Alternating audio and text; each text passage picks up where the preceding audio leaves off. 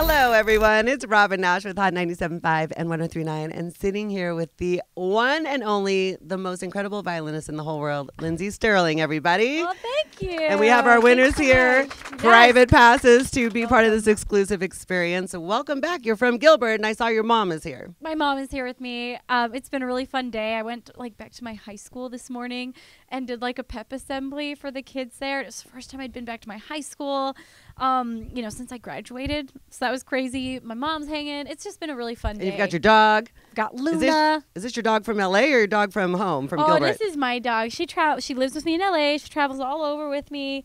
Uh, She's very so chill. calm and chill. very it's like chill. the greatest dog. She literally is the best travel. Yeah, I'm talking about you.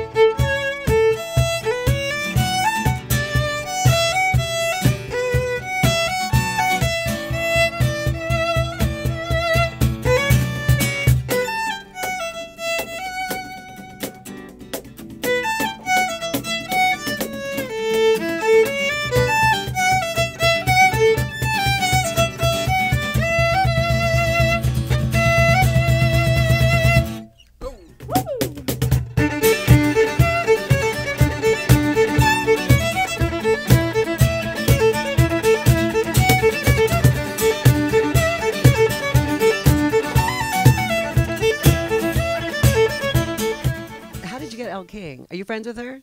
We've met in the past, and like we met at a, a festival that we were both playing at, and we've like kept, you know, we've tweeted each other and like wanted to do stuff together, and finally this was the right project. And um, anyway, she kills it. Her voice is so unique. It's so recognizable.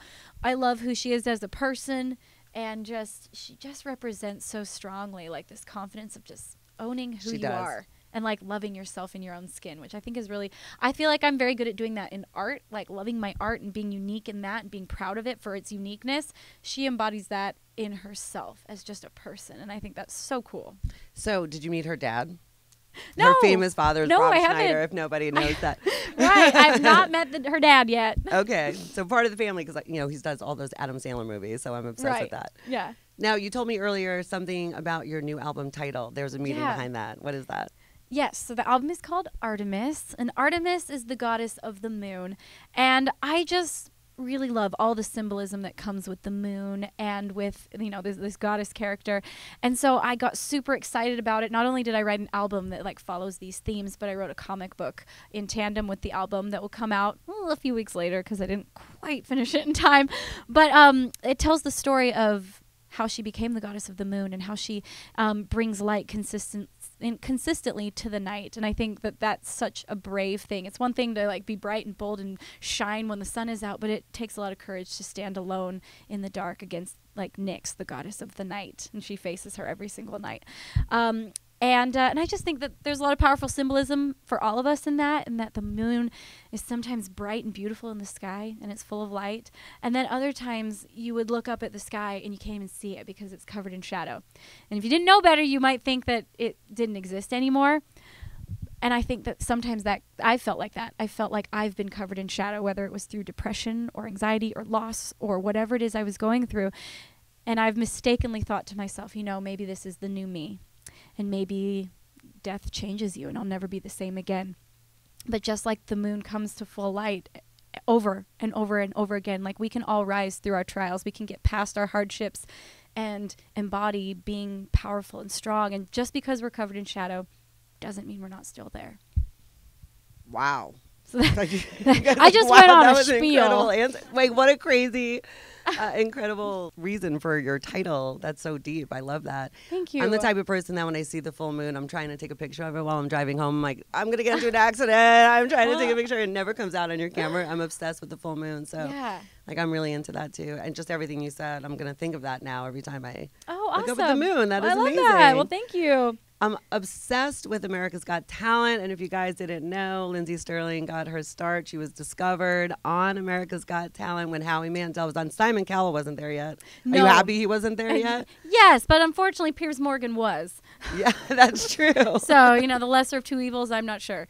Do you know you inspired other violinists because in the last two seasons, Yeah. have you seen them? Those two. I always get tagged kids? in. Yeah, I always get tagged in like Lindsey. There's a violinist on America's Got Talent by like my fans, and so Oh, last yeah. year I got to actually perform in the finale with Brian King Joseph, which was awesome. So much fun to get to go back on the show. It was such a positive experience to be like a mentor for someone and to like, you know, come back to share just the little nuggets of like what I've learned with this person that I'm like, oh, I know what it feels like to be in those shoes. I know how Yeah. terrifying it is, and um, you know, now there's this little guy that's on it this season. I he got the know, golden he's so buzzer. cute. He's so cute, and you know what, an inspirational story. So I'm really excited to see where this journey. I love that you're following that. I do. I you were follow it. also on Dancing with the Stars. So, which is your favorite of the two? Oh.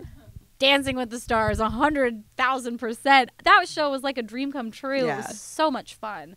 Um, and I don't know. I'd always wanted to like take lessons of in dance. I'd never been taught before, and um, so I just absolutely fell in love with ballroom. It was such a dream come true. It was also one of the hardest things I've ever done. It's it's exhausting, and the amount of practice. And we were on tour at the same time, so like Wow. flying back You and did both. forth. Did both at the same time. Not smart.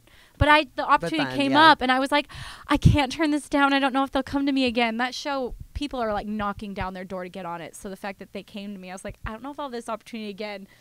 I'm gonna go for it. You and got I paid would- to learn to dance. and I got to learn to dance Yeah, from amazing. some of the best choreographers and teachers in the world. Mark Ballas. Um, I loved it. It was so fun, and I was so sad when I finished my last dance, and I was like, I'll never. I don't know if I'll ever get to put on my ballroom shoes again. Have you? I have actually. I've thrown them on a time or two for a video or for like just I've gone out dancing. You know, every once in a while, just pull them out. And you're like, I, I kick ass at dancing. I'm really good. at see if I still got it in my heels. Well, you dance a lot when you're playing violin anyway, so you've Yes. just got it going on. Did it make you a better performer Absolutely. on stage? I really feel like it helped. Like, because like I said, I'd been self-taught and I'd worked with choreographers before, but I'd never been trained. Mm-hmm. And so having like someone there constantly telling me like, turn out your foot, hold your core, like just all these little tricks that I was like, oh, that's how it's actually done. Um, you know, and dancing six hours or eight hours a day for three months will definitely make you better at something. So, yeah, I'm jealous. Oh, Amazing experience. you got to get on there. Bobby can you Bones, make a phone call? Bobby I Bones could do it. You can do it, you know, I would love to. Yes. I was so happy for you, and I was like, "How did she even get this opportunity when you performed with Celine Dion? Oh. How does that even happen?" You're telling me I don't even know. I got that phone call. Would you like to perform with Celine Dion at the Billboard Awards? Like jaw dropping. Yes, like I love Celine. Um, to this day, I think she's my my biggest name drop. If someone's like, It is oh, big- and was like, oh, big one time name I performed with Celine Dion. Polish it up a little bit, yeah. Um, she's amazing. She's such a gracious person. She, ca- you know, she came up to me like I, she floated across the stage, and she was like, "Hello, like thank you so much Yeah. for performing with me." And I was just like, Did she call you Thank out? you. Did you find out that she was your fan and asked for you? Um, I I don't even remember how. I'm pretty sure it was like a manager situation. Thought this would be a good idea. I I don't think it came directly from Celine, but I didn't care. I'll take it however whatever plate it came on. I was just excited to be there. And you know, actually, my mom and I were at the Billboard Music Awards the following year. So I had that moment, performed with her on stage, talked with her for like five minutes. That was it. And then the following year, backstage at the Billboard Awards, she, again, she comes floating down the hallway perfectly.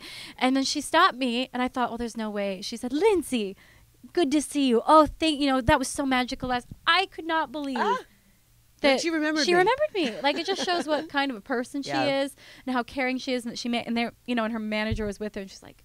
She's like that. She remembers everyone. Like it's important to her. And so, anyways, big Celine Dion fan.